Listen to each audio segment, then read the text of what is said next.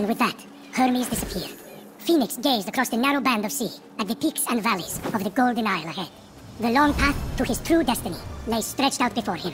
Wait, that was just a prologue? How does it take someone that long to begin a story? Odysseus made it home faster.